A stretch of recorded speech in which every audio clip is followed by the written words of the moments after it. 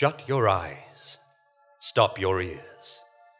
There will be no thought, no need of it. Nobody is at the heart of this babble. The very secrets of our being, the dark corners of flesh, the unseen spirits are all too often as ailing casualties in a vision. This is a true story, but the truth of it will shake the world with hellish fantasies at the unseen hour.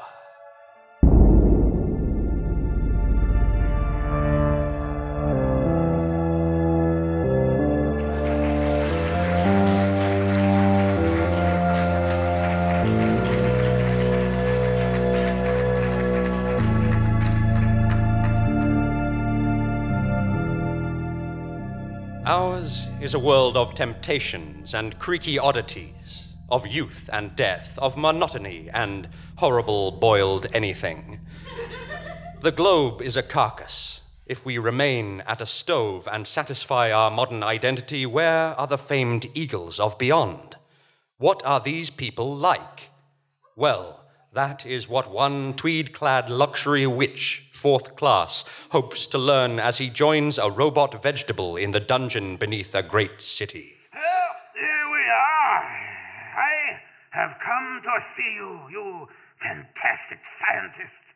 This is where I come to launch my quest, for I, the magnificent Rufus Strideforth, intend to get rich by unstrapping the quadrangle of improbable interviews. Oh, Rufus, I'm sure that will be useful, but I dream only of an upgrade to the turquoise crypt. I like your style, darling. Help! Help! Oh, what's the matter with this old couple? Oh, it's a terrible peril. The great city of Carcos is at the mercy of a complex danger. I'll never be able to get home, young man. Oh, Flem, it's honestly done. Just done. Never fear, never fear, you decrepit duo. I shall retrieve the days of yore. Oh, good. We can relax then. You'll never make it. Don't you understand that a terrible, snapping, monstrous priest, Albert Grick, is created and is heckling all the coffee until it turns to disappointing comedy? Oh, no. Oh, no! Oh, yes. And what are you going to do about Having the it? foggiest. Actually, uh, Have a gift. It will fill your bathtub at a later date. It is a telephone gift for talks with your greatest foe. We call it the Oval Oracle for Evil, Evil Octopus of Okra Ooze. Oh, oh, oh. it is a silly name.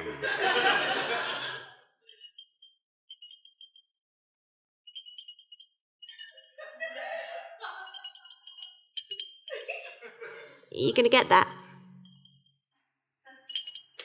Hello? Hello? Who's that? Hello, who is this? You called me. What? Hello? Sorry, you're not coming through. I called a crew of manly skeletons. I don't feel that this is the right number. Those bony villains. I declare you are meddling in forces of big violent power. You will never be able to help the innocent. Goodbye. Goodbye. Rufus, there's only one way to deal with things like this, but we must hurry to Featherstone, the internet nerd. Featherstone is the source of crab. Let's go! I can let you out of prison for 40 minutes, you lovely baby man. This bouquet of delicious monologue is about to fling you to the nerd's ivory apartment. Right. Off we go. Ah!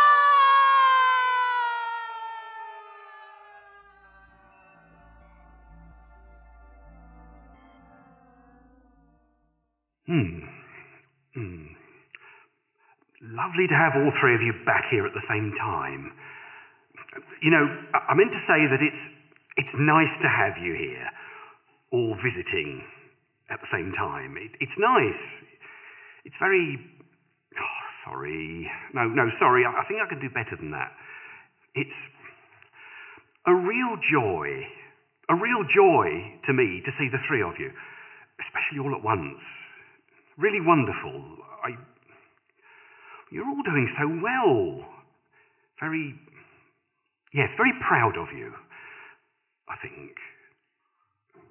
I do all right here on my own, of course. It's very, yes, very adequate. Getting along very well, really. Hmm. There's always plenty to do. I've got the garden and pootling around on the clarinet. And these are the lamps. I've made a few now. Yes, it's a funny old hobby, isn't it? But I've been enjoying it, and I think they're rather tasteful, really, don't you?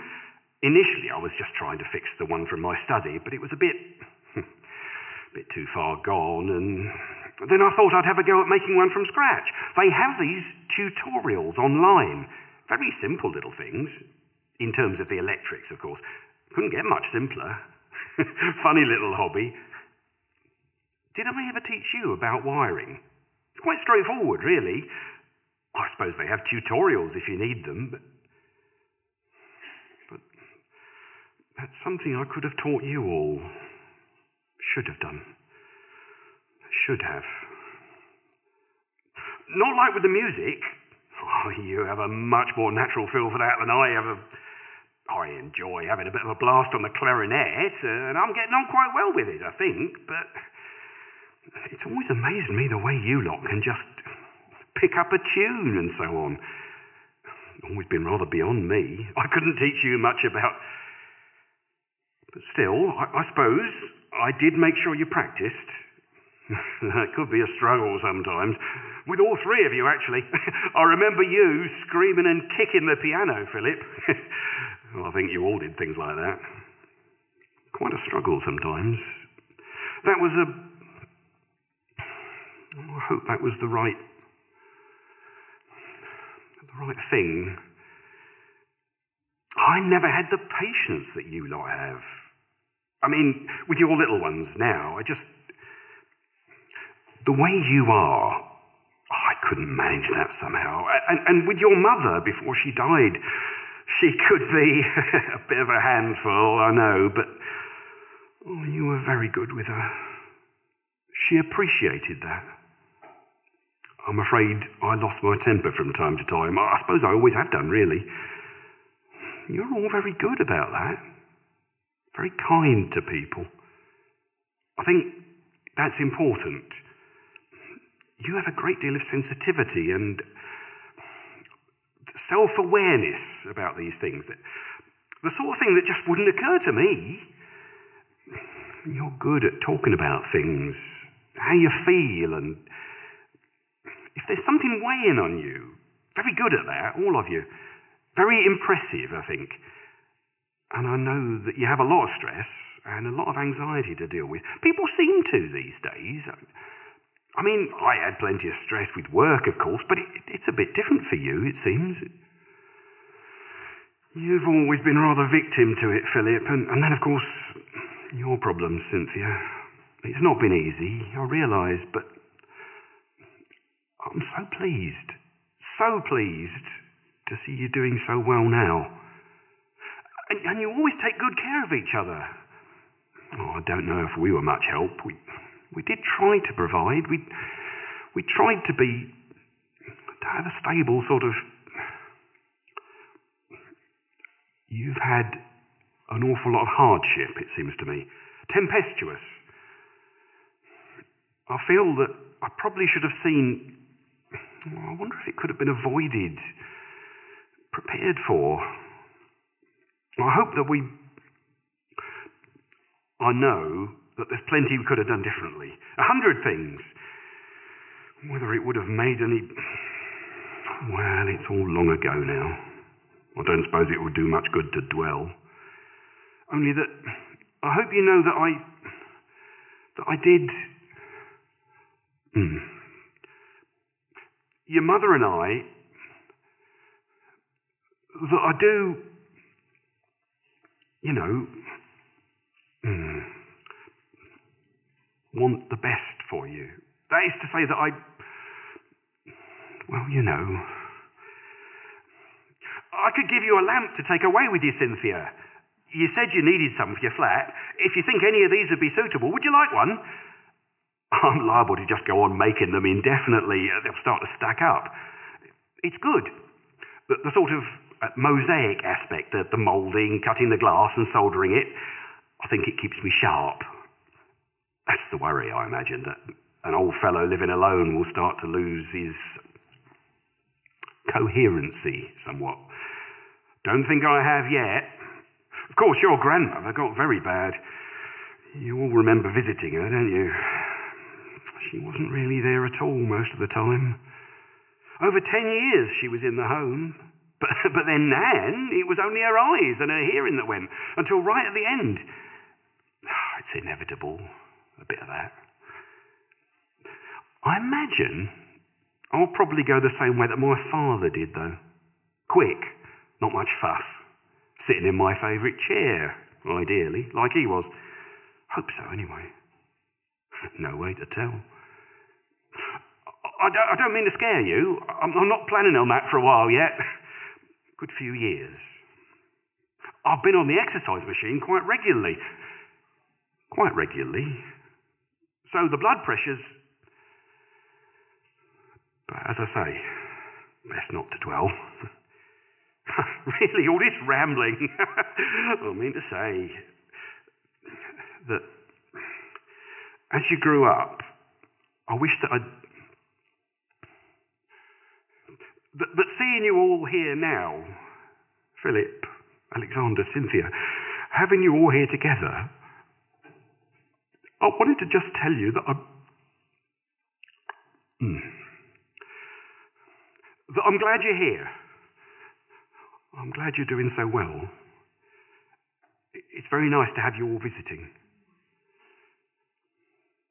Silly thing about being old is that you tend to get up very early, like this. Even more hours to fit in the day. And when you're up at five o'clock, you have plenty of time to drone on, all alone in your workshop, while you lot are all still upstairs, asleep in bed. A few more hours of the day to pass, putting together a lamp. But I'll get breakfast ready for you all in a little bit. Must remember to offer you a lamp, Cynthia, for your flat. That'll be nice.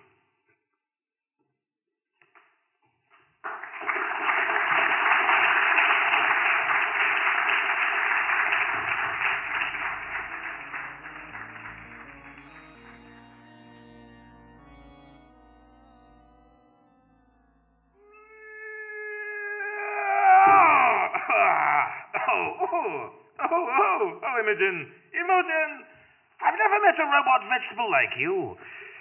If only there was space to move adequately. I know exactly what you mean. Oh, what's going on? Where's the internet nerd? Tell me or I will break this family, I swear to God. All right, all right. This time I am a corrupt soldier. We can both be a different kind of soldier for our sins. Can you provide the crabs? Not even the venomous sort. Uh, have you seen the news? It's all over Twitter. So stop asking if you know what's good for you. Uh, neither science nor religion will save you. Albert Grick is an awesome flaneur. Uh, but you'll never see that. How dare you?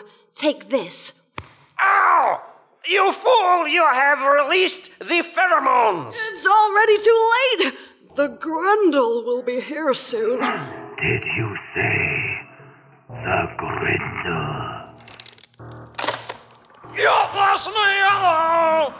Once, hello! Once an outlaw library from which you can eat reconstituted mermaids until the primordial cult of what now boiled my heart in a capitalist soda and produced the ancient pagan horror you see before you. Now Just you a bit about me there in case you were wondering. Oh no! Right, who's got arms what want pulling off?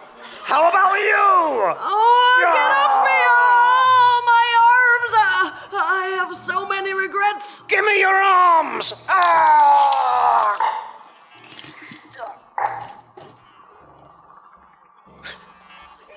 Ginth, my beloved, I never got to tell you my values, and now you are pulp. Alas, the Grendel approaches me. Our Grundle never stops tearing off everybody's arms. You keep away from me, you enormous imbecile!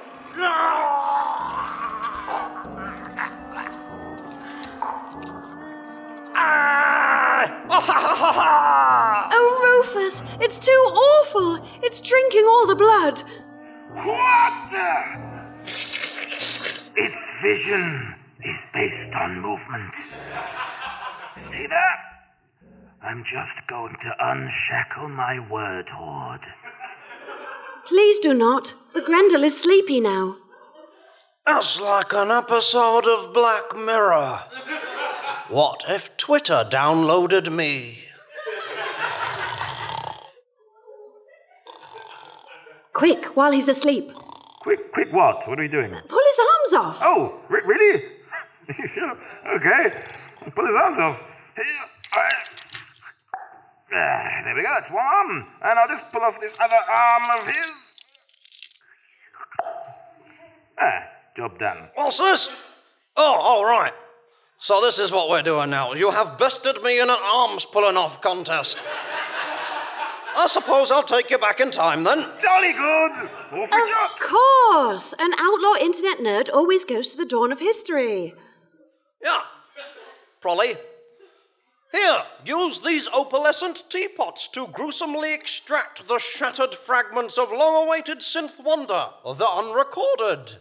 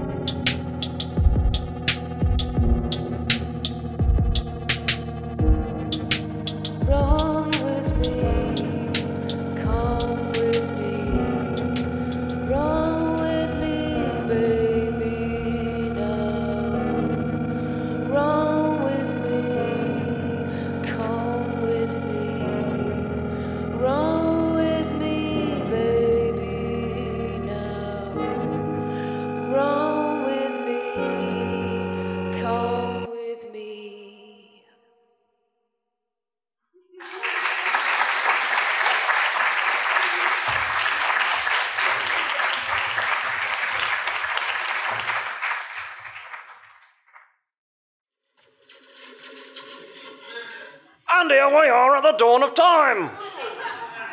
This is what the dawn of time looks like. Yes, it is literally indescribable. Pretty, pretty much what I expected.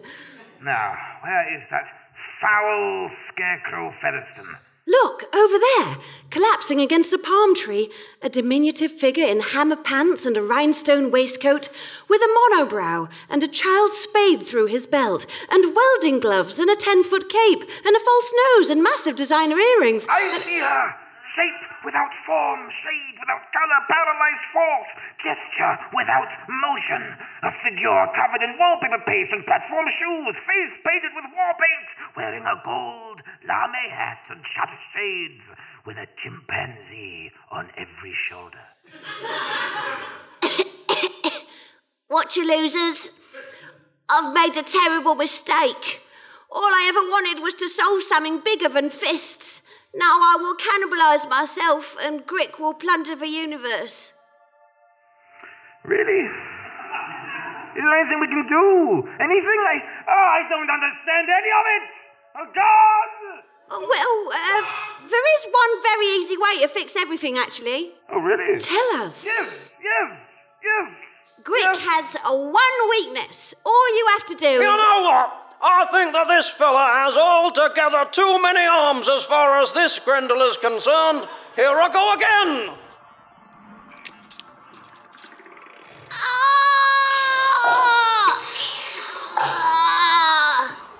Please excuse our friend. Do go on.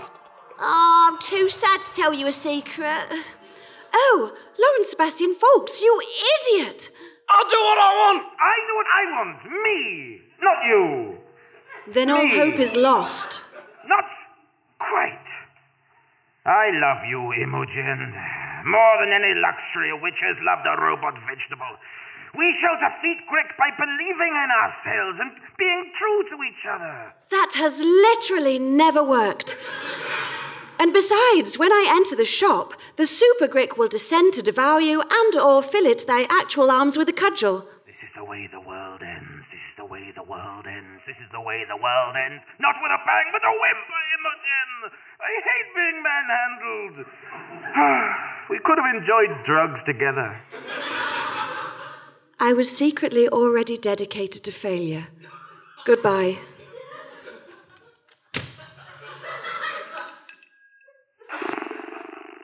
Well, Grick, just you and me. Suppose I'll, I'll deal with you shortly. Ah, there he is.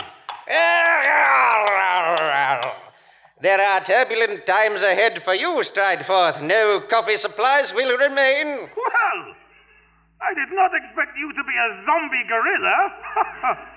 or, or a zombie Godzilla.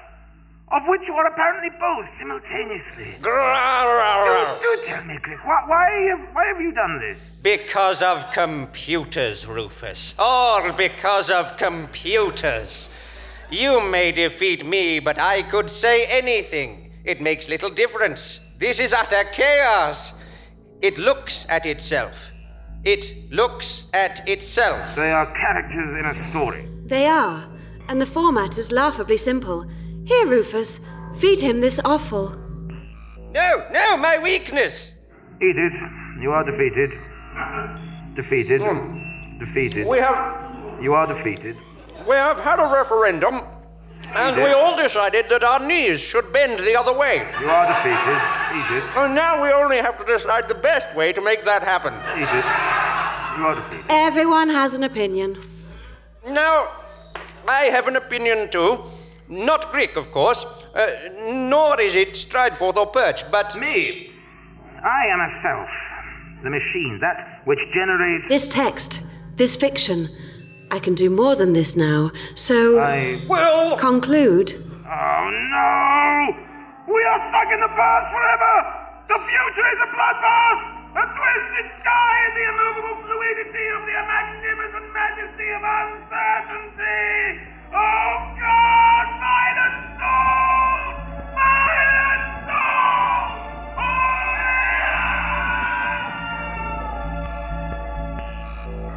And so, everything goes very scary, and a liar is fated to get shot in the pocket.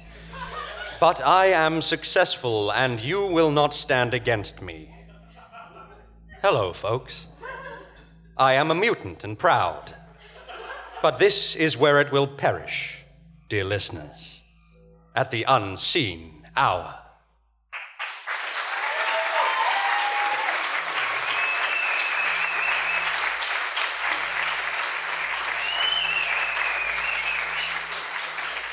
We hope that you definitely find vestiges of a community in the Unseen Hour episode 50, epilogue colon murders of a dark murder, open brackets, shut down, close brackets.